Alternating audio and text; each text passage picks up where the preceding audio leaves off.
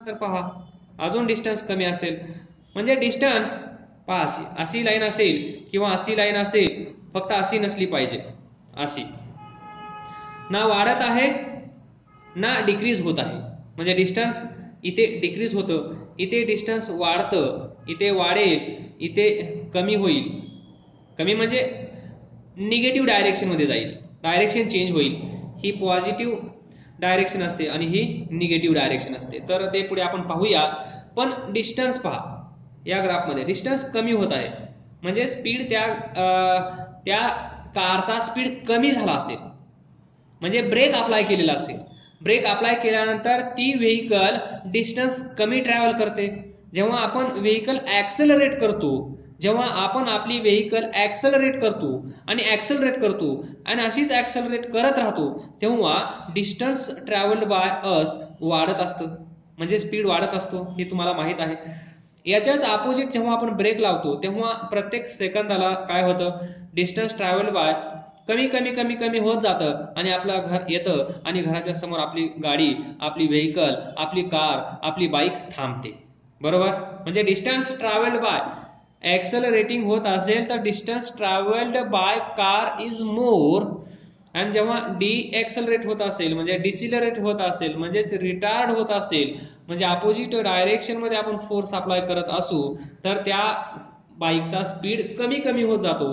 Speed कमी कमी होत जातो म्हणजेच डिस्टन्स कमी ट्रॅव्हल केलं जातं. आणि डिस्टन्स कमी ट्रॅव्हल केलं जातं म्हणजेच असा ग्राफ तयार होतो. सो तुम्हाला कळलं असेल की इथे हा इथे विलॉसिटी आहे इथे विलॉसिटी आहे पण या ग्राफवर विलॉसिटी या ग्राफसाठी या स्ट्रेट लाईनसाठी विलॉसिटी किती आहे? झिरो आता ही विलॉसिटी झिरो असते तुम्हाला तर कळलं ऑब्जेक्ट कुठे आहे? Object is at rest object is at rest रेस्टला आहे म्हणजेच विलॉसिटी झिरो असली पाहिजे. म्हणजे स्पीड त्याचा झिरो असला पाहिजे. मग त्याचा ग्राफ आपल्याला माहीत आहे. हा ग्राफ आहे त्याचा. बरोबर? इथे आपण नाईन कन्सिडर केलं. याच्या अलीकडचे नंबर्स लिहिण्याची गरज नसावी. तर इथे वन सेकंद आपण कन्सिडर करू आणि हा शेवटचा आपण एट सेकंद कन्सिडर करू. याच्यामध्ये टू असेल थ्री असेल फोर असेल फाईव्ह असेल सिक्स असेल आणि हा एट असेल. इकडे टू असेल फोर असेल सिक्स असेल एट असेल आणि हा नाईन असेल. अशा प्रकारे. तर याची विलॉसिटी झिरो आहे. या ऍक्सिसवर आहे एक्स या ऍक्सिसवर आहे टाइम टी तर या ऑब्जेक्टचा स्पीड झिरो आहे. हे तर आपल्याला कळत आहे. कारण object is at a rest हे हे वाचल्यानंतर आपल्याला कळत आहे की स्पीड झिरो आहे म्हणजेच तो रेस्टला आहे.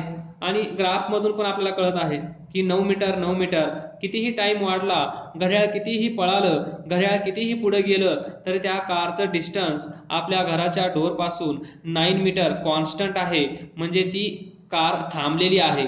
जर ती कार थांबलेली नसती तर नऊचा दहा झाला असता किंवा ती आपल्याकडे येत असती तर आठ झाला असता म्हणजे काहीही झालं असतं. पण असं काहीच होत नाहीये. त्याला आपण म्हणतो ऑब्जेक्ट इज ॲट रेस्ट मग याची विलॉसिटी झिरो आहे हे तुम्हाला कळत आहे. पण बाय फिजिक्स ही विलॉसिटी झिरो कशी येते हे पण मी तुम्हाला सांगणार आहे. तर हा कोऑर्डिनेट कन्सिडर करा. हा coordinate x one comma y one तर याचे कोऑर्डिनेट तुम्ही लिहू शकता का? एक्स वन काय असेल? वन कॉमा वाय वन काय असेल? नाईन त्यानंतर इथे पहा. त्यानंतर इथे पहा. या पॉइंटचे याला आपण बी म्हणू याला आपण ए म्हणू. तर बी पॉइंटचे कॉर्डिनेट एक्स कॉर्डिनेट काय आहे? एट सो एट लिहिला इथे. कॉमा वाय कॉर्डिनेट काय आहे? नाईन इथे नाईन लिहिला. तर हा आहे B x two comma y two तर आपल्याकडे दोन पॉइंट आहेत. या ग्राफवरचे ही जी स्ट्रेट लाईन आहे ही जी स्ट्रेट लाईन आहे जे ग्राफ मगाशी मी ड्रॉ केला त्या ग्राफवरचे दोन पॉइंट कुठलेही तुम्ही सिलेक्ट करा. Any two points on this graph which is a straight line यालाच तुम्ही म्हणू शकता ही लाईन या टाइम ऍक्सिसला कशी आहे? दिस इज टाइम ऍक्सिस बरोबर? This is graph which is a straight line बरोबर? ही लाईन याला ही लाईन याला कशी आहे? पॅरल एमसीक्यू लक्षात ठेवा. Rest object is at rest in x t कर हा कर हे पण लक्षात ठेवा. X versus t x versus t x y ॲक्सिसवर t x ॲक्सिसवर सो एक्स वर्सेस टी या ग्राफमध्ये फक्त याच ग्राफमध्ये याच ग्राफमध्ये ग्राफमध्ये कारण आपल्यासमोर भरपूर सारे ग्राफ्स येणार आहेत त्यावेळेस कन्फ्युजन होईल. म्हणून ग्राफचं नाव पण तुमच्या लक्षात राहिलं पाहिजे. या ग्राफचं नाव आहे एक्स वर्सेस टी आणि एक्स वर्सेस टी मध्येच हा स्ट्रेट लाईन असतो हे लक्षात ठेवा. तर object is at rest velocity zero speed zero हे इथून कळत आहे. आता बाय मॅथमॅटिक्स बाय फिजिक्स कसं फाईन करायचं ते पहा. सो आपल्याला माहीत आहे काय माहीत आहे? Velocity is equal to rate of change of displacement with respect to time हे तुम्ही पाहिलं? विलॉसिटी इन्स्टंटेनियस विलॉसिटी तुम्ही पाहिली होती. काल मी तुम्हाला लिहून दिलं होतं. V is equal to d x by d t म्हणजेच instantaneous velocity is equal to limit delta t tends to zero म्हणजे time interval close to zero असेल तेव्हा आपण delta x divided by delta t याला d x by d t असं लिहित असतो. आणि हा मोस्ट फेमस आहे. हा.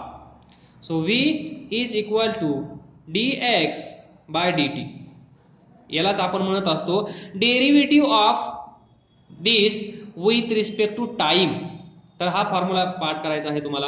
V is equal to d x by d t याला रीड कर रीड कसं करायचं?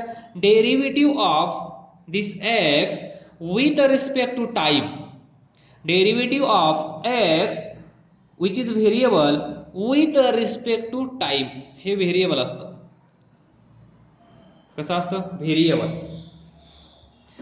व्हेरिएबल म्हणजे चेंज होत राहतो तो. तर ही डेफिनेशन तुमच्या लक्षात आहे विलॉसिटीची म्हणजेच v is equal to d x by d t हे तुम्हाला माहीत आहे. हे झालं असं. V is equal to d x by d t derivative of x लिहितो इथे. Derivative of x with respect to time x is variable x is variable म्हणजे कधी नऊ मीटर नंतर दहा नंतर अकरा नंतर सतरा नंतर सत्तावीस नंतर पस्तीस तर हा एक्स चेंज होत राहतो. म्हणून त्याला आपण म्हणतो व्हेरिएबल चेंज होणारा चेंज सॉरी चेंज होणारा variable so derivative of x with respect to time त्याला आपण म्हणत असतो v is equal to d x by d t आणि इथून पुढे तुम्हाला एवढं काही लक्षात ठेवायची गरज नाही. हा एक एमसीक्यू आहे हा पण एक एमसीक्यू आहे पण तो कालांतराने लक्षात राहतो फक्त तुम्हाला लक्षात ठेवायचं आहे विलॉसिटीची डेफिनेशन म्हणल्यानंतर velocity is equal to rate of change of म्हणा रेट ऑफ चेंज ऑफ हा. Rate of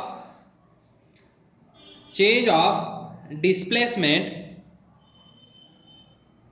this is displacement displacement. With respect to time. So v is equal to dx d dt. हा एक formula आहे most famous इथून पुढे तुम्हाला हाच दिसेल प्रत्येक ठिकाणी. काही वेळेस भरपूर चान्स कमी आहे हा दिसेल. So v is equal to d x by d t आणि हे मॅथमॅटिक्स म्हणजेच बाय फिजिक्स कसं फाईंड करायचं ते तुम्हाला शिकवत आहे. सो तर पहा. तो जो आपण ग्राफ कन्सिडर केला असा ग्राफ हा एक सेकंद आणि इथे नाईन मीटर सो याचे कोऑर्डिनेट असतील एक्स वन वाय वन अजून एक पॉईंट कन्सिडर केला तो एट सेकंदाच्या नंतरचा तो इथे असेल x two y two this is final and this is initial असं आपण म्हणू शकतो लक्षात ठेवण्यासाठी. तर हा एक पॉईंट कन्सिडर केला आपण. हा एक पॉईंट कन्सिडर केला. तर हा जो ऑब्जेक्ट आहे ज्या ऑब्जेक्टचा हा ग्राफ आपण ड्रॉ केला आहे त्याचा speed so to find to find velocity to find velocity of this object from this graph from x versus t graph याला पुढे जाऊन तुम्ही असं लिहिणार x t graph x t graph x म्हणल्यानंतर वाय ऍक्सिसवर एक्स असला पाहिजे आणि एक्स ऍक्सिसवर टाइम असला पाहिजे. म्हणून त्याला आपण म्हणतो एक्स वर्सेस टी किंवा x t graph from this graph how to find velocity of this object तर जास्त काही टेन्शन घ्यायचं नाही. टेन्शन एवढंच घ्यायचं. फ्रॉम हे पाठ करायचं. From x टी ग्राफ पाठ होईल from X T graph slope of graph slope of xt graph slope of this graph is equal to velocity is equal to velocity and is equal to denoted by a letter m small m हे मॅथमॅटिक्समध्ये तुम्ही अजून छानसं शिकाल. इथे फक्त एवढंच लक्षात ठेवा हा एक ग्राफ आहे. या हा ग्राफ कशाचा कशाचा आहे? एक्स म्हणजे डिस्प्लेसमेंट इकडे आहे आणि टाइम इकडे आहे. एक्स वर्सेस टी आहे. So from x t graph find slope of x t graph आणि त्या ग्राफचा जो स्लोप असेल तो स्लोप म्हणजेच विलॉसिटी ही विलॉसिटी झिरो आली पाहिजे. आता ही विलॉसिटी झिरो येते की नाही? जर विलॉसिटी म्हणजेच काय लक्षात ठेवायचं आहे तुम्हाला? Slope of x t graph is equal to velocity पा एवढं लक्षात ठेवायचं आहे तुम्हाला. Slope of x t graph is equal to velocity म्हणजे या ग्राफचा स्लोप जर तुम्ही फाईंड करू शकलात तर तुम्हाला विलॉसिटी त्या ऑब्जेक्टची भेटेल. मग आपण काय करू? Slope of x t graph find करण्याचा प्रयत्न करू. तर हाऊ टू फाइंड स्लोप मग स्लोप कसा फाइंड करायचा? तर स्लोप कसा फाइंड करायचा पहा? M is equal to m म्हणजे slope m is equal to slope slope म्हणजे तर पहा स्लोप एम म्हणजे स्लोप आणि slope is equal to y two minus y one divided by x two minus x one so y two minus y one divided by x two minus x one तर इकडे या आता. या ग्राफचा slope मी इथेच साईडला find करतो. M is equal to y two minus y one divided by x two minus x one तर Y two कुठे आहे? इथे आहे वाय टू लिहा. एक्स टू वाय टू आणि हा एक्स वन वाय वन. या लाईनवर कुठेही दोन पॉईंट घ्या.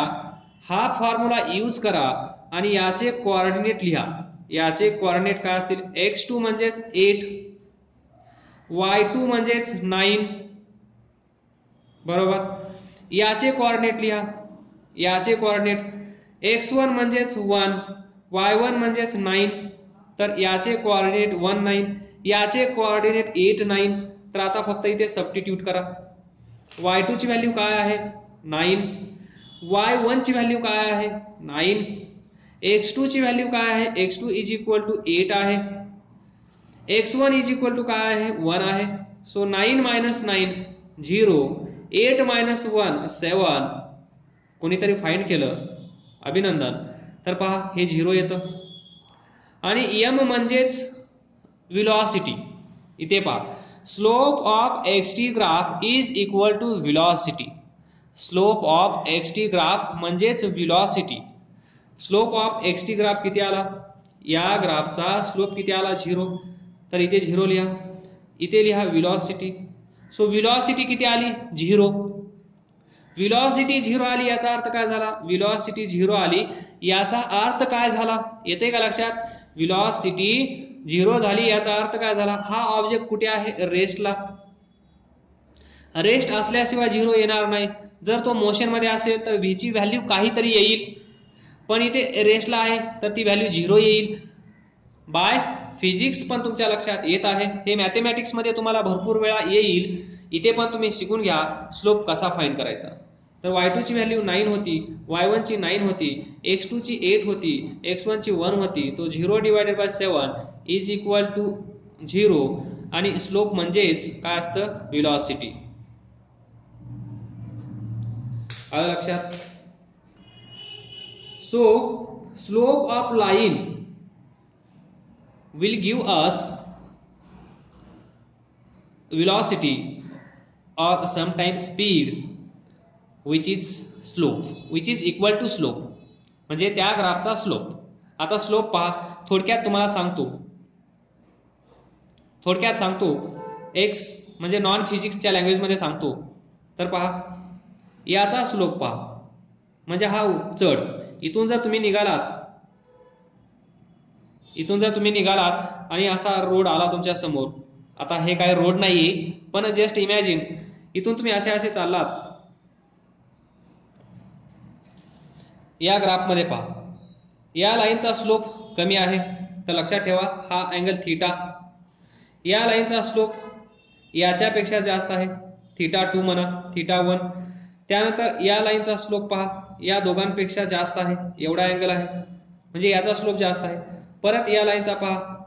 हा थिटा थ्री म्हणा हा थिटा फोर म्हणा. या लाईनचा स्लोप या लाईनचा स्लोप या लाईनचा स्लोप या लाईनचा स्लोप स्लोप काय होत आहे? इकडे जाताना काय होत आहे? स्लोप इन्क्रीज होत आहे. स्लोप इन्क्रीज होत आहे. स्लोप इन्क्रीज होत आहे याचा अर्थ काय झाला पाहिजे? विलॉसिटी इन्क्रीज झाली पाहिजे.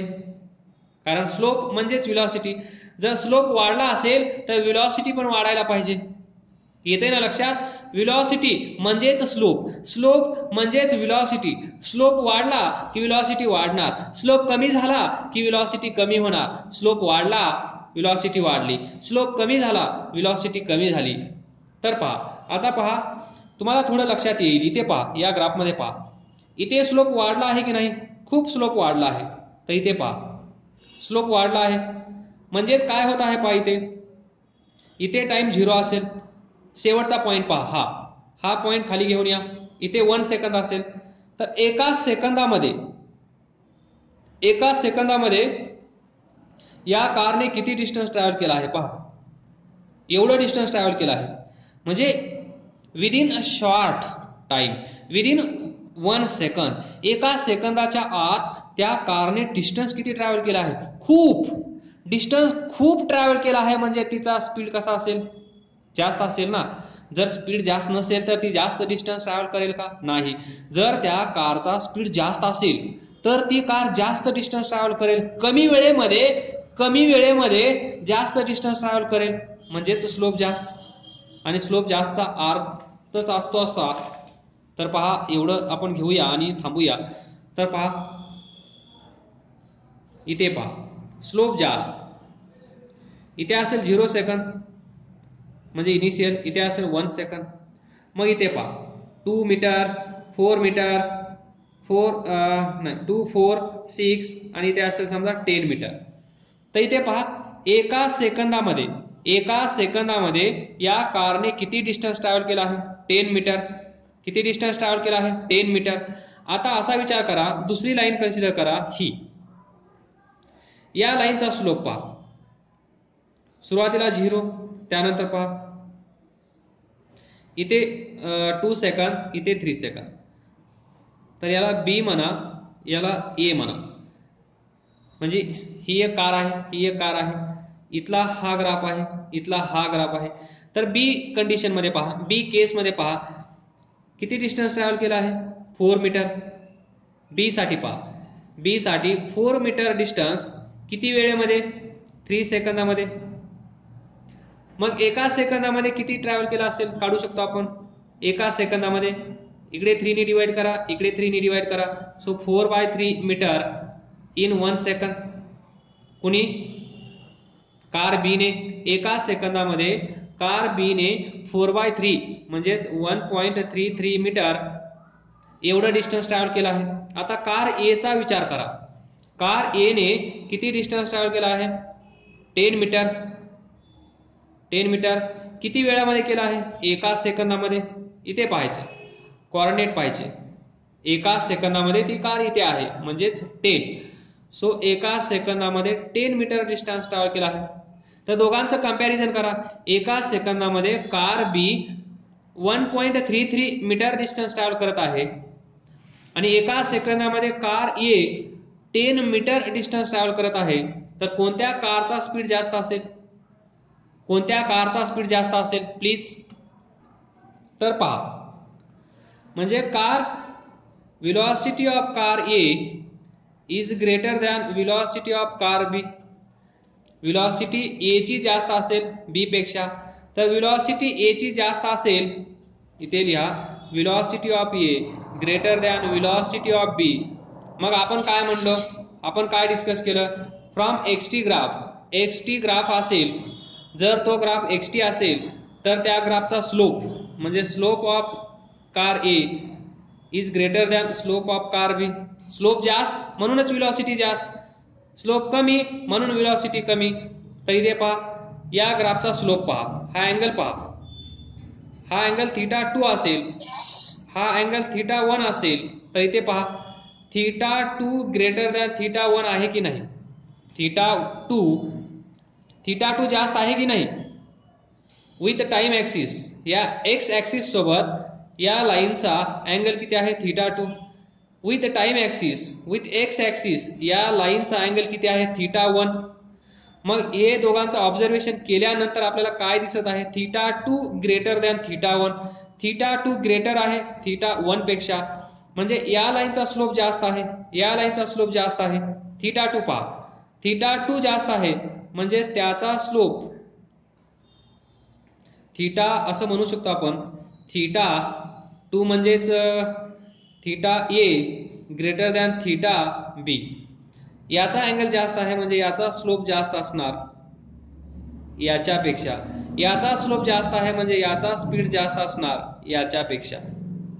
दिस इज दिस इज आता तुम्हाला समजलं असेल स्लोप ऑफ ग्राफ आणि इथून आपण speed that is velocity find करू शकतो. तर इथेच आपण थांबूया. काय समजलं नसेल तर विचारायला विसरू नका. अभ्यास करायला विसरू नका. अभ्यास करत राहा. पुढे जात राहा. All the best thank you bye